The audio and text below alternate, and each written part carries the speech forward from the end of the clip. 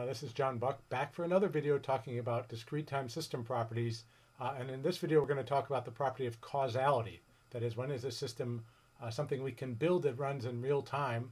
Uh, so in this video, I'll tell you what the definition of causality is, and then we'll also look at uh, how do you prove whether or not a system is causal or not. I'll show you a few examples and, and a process you can go through to figure out if, if a system given by an equation is causal.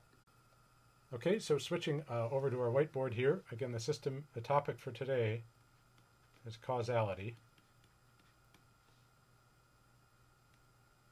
And again, this is part of the series we're talking about five important properties for systems, linearity, time invariance, causality, stability, and invertibility. And this is, is uh, causality is the focus of this video. There are other videos uh, for the first four. I haven't made a video for invertibility yet, but we don't talk about it too much in this class. It is an important property, and we'll talk about it a little bit later, but not right from the right off the bat.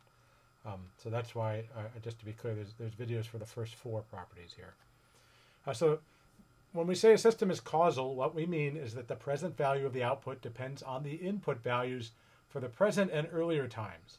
Or saying that it, another way, it means the system can't read, the output doesn't depend on the input in the future.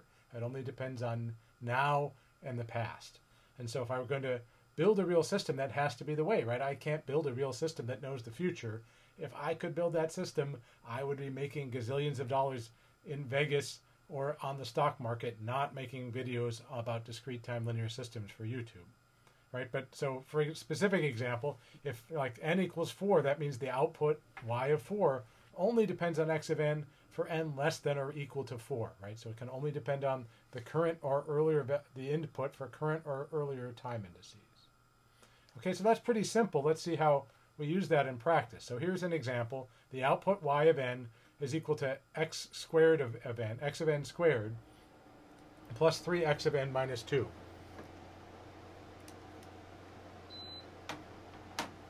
And uh, so again, what we're looking at is, again, looking at that definition, we say is the output time index here. Then we look at the inputs. So the inputs are coming from x of n and n minus 2. So if it's causal, to be causal, we need right, that the output time index, which here is n, has to be always uh, less, I'm sorry, greater than or equal to the input time index, or indices, all of them, if there's more than one term. So we need x, we need the output at time n, we've got n and n minus 2 on this side. Now, it turns out that one's pretty easy to show. That's always true, right? right? So this is a, very simple example to start out, but since this is the out, you know, again, these are the input time indices. So these are from inside the brackets. And this is the output part. And so this tells me the output at time n depends on the input at n and n minus 2, which are always less than that. Right? So I guess to set this up, sort of the key question for causality is, is this true? And here it is true. So we can say, yes, that's true. So this tells me the system is causal.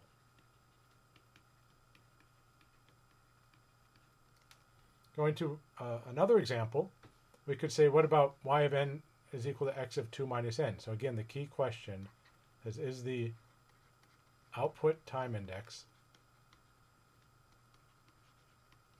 greater than or equal to the input time indices? Right?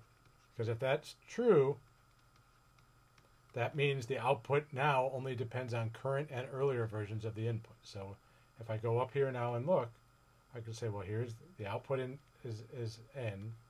The input time index is 2 minus n. So this question is, causality is equivalent to saying, is n greater than or equal to 2 minus n? Right, so it's the output now always on earlier, current or earlier versions. And so if I solve this equation, I'll add n to both sides, I'll get 2n greater than 2. Is n always greater than equal to 1? Well, no. This is not true for all n. So this means this system is not causal. And in fact, we've, we've seen this in class already, right? This is the system that flips the input and then delays it by 2, right? We saw in class we could also write this as x. We could factor the minus sign out and write it like this and say, well, when I break it down that way, I can see that this is the system that flips the input, then delays by two. Uh, and so flips are usually a good sign that things aren't causal. Having something flip is usually a good sign that it's not going to be causal. Uh, so this is the step-by-step -step approach. We can also very quickly show this isn't true using something called a counterexample. For a counterexample, we can just pick one example and show that it breaks the property. Right? So if I say n equals 0, then when n, when n equals 0, I'm saying I've got y of 0 is equal to x of 2 minus 0, which is x of 2. But now, now I'm looking and say, well, the output now is looking two samples into the future. That's not causal, right? This is looking into the future.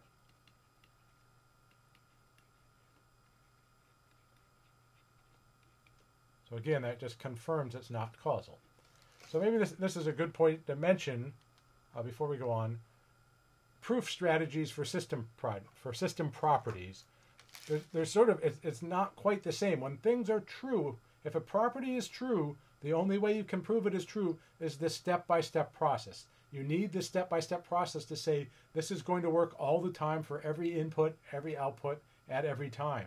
You cannot just use examples to prove something is always true. You know, in practice, I'm not going to lie. Sometimes I plug a few examples in to get a sense, to get some intuition, saying, "Oh, I tried three examples and it all the property always held." That's a good chance that it's true, but that's not a proof. That tells me, well, now maybe I should spend the time to try to prove it. Because if I plug one one example in and it breaks it, well, then I know if I've got one example where the property doesn't hold, then it's false. So that brings us to the second point here. There are two ways to show something isn't false. Right? If I want to prove something isn't false, I can go step by step like we started on the last pro problem and show that the property breaks down. Show that we cannot say that, that like we did on the, the last slide, if we hop back there, right? n is not greater than equal to 1 for all n. You can have n 0, n negative numbers. So, so if I go step by step, I'll get the answer. But also, if I'm just trying a few examples, I might get lucky show, find one example that says, oh, this property doesn't hold. Here's an example that proves it's not true, and that's called a counterexample, right? So that, that makes it break down, and that's what I showed second on the last slide. So going down uh, one, one more example, here's y of n is equal to x of n cubed. So again, it's inside the time brackets, brackets. I'm cubing the time. And again, if I'm not sure, I could again just try an example, and it will turn out I can find a counterexample quickly. So suppose I say, let's look at n equals 2. Well, then I'm saying the output at time 2 is equal to the input at time 2 cubed, which is x of 8. And very quickly you can say, oh, that's not causal. Right, so this is another case that because the property is not true, just by plugging in an example, I can break it and say, oh, that's not true, it isn't going to work. I could also do it step by step though, right? I can again I can say is the output if I don't see the example, I can just go back and say, well, is the output time index always greater than or equal to all the input time indexes? Right, so then that's saying n is greater than or equal to is n greater always than or equal to n cubed for, for all the values here. And so I could divide both sides of this equation by 1 and say, well, is, is n squared always less than 1? No, there's a lot of n's where n squared is greater than 1. The 2 I just had above, 3, 4, uh, minus 2, minus 3, minus 4, all those would, would also still have, have problems here, right? So, uh, so in, th in this case, just pausing as I say that. Actually, the minus ones are a bad case because if n is minus uh, that was a bad example to pick. So if if n is positive, I can divide both sides by n and get this equation and prove that it doesn't work, right? So I've already proved it's not causal. Not causal.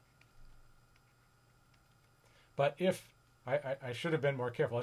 If if if n is less than zero, when I divide both sides by n, I got to flip the inequality, right? And then for for all the negative integers, this would be true. So this is an example that some people might say, well, it's causal for negative time. No such thing. Can't have it. It's either always causal or, or not causal. So so this is still even though it's even though this holds this is true for negative integers. So you might be fooled at first. You have to go over here and look and say, ah, but it doesn't work for positive integers, and you can't be causal sometimes. You either never know the future, or you sometimes know the future, and that means you're not causal, not strictly causal. Okay, so there's there's some examples of definition of causality and some examples of how to prove it. Again, here's my my uh, closing credits. If, if anybody wants to to look up more about our department, my research program, uh, there's some useful links here. And uh, that's it on uh, causality. I'll see you next time on the next video.